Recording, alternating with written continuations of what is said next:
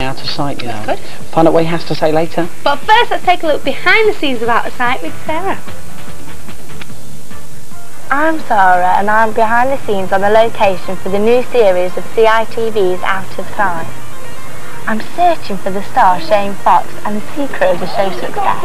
Alex, could you tell me how many days it takes to film the average 25 minute episode of Out of Sight? Usually it takes five days. So roughly today, how much of that will be shown in the final TV scene? I reckon about five minutes. Do you find the special effects create any major problems? Uh, they can be, Yeah. especially if we've got moving backgrounds and you have to plan those really well. One last question. Could you please tell me where Shane is? I don't know. It's got to be about here somewhere. Thank you. You and the team are responsible for most of the invis effects in Out of Sight. Yeah. Could you tell me how you make Shane and Sasha appear to be there when they're not? Well, it's a combination of things. I use lots of very, very thin steel wire, fishing line, sometimes rods and levers.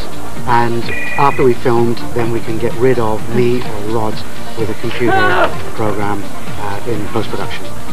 Tell us what we're all desperate to know? What is in the invis bottle? Well, the Invis is really a trade secret, so I can't really tell everybody out loud, but I'll tell you. What. Oh, really?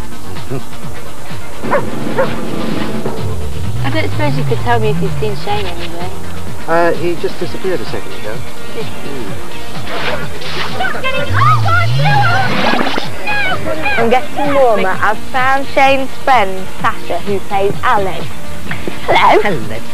Um, it must be difficult working with someone that keeps disappearing all the time. Yeah, because I look really kind of stupid because I have to talk to somebody who's not really there. Could you tell me where Shane is? You just missed him. Shane, I found you. Don't disappear on me. Is it hard trying to juggle schoolwork with um, filming? Yeah, it's very difficult because there's a tutor on set at all times and Yeah. whenever you're not filming, you get dragged off. For the next sighting of Shane, don't miss Out of Sight on CITV.